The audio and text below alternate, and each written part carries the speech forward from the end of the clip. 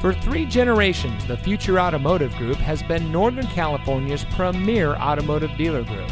And here's another example of a great vehicle from our giant selection of pre owned cars and trucks.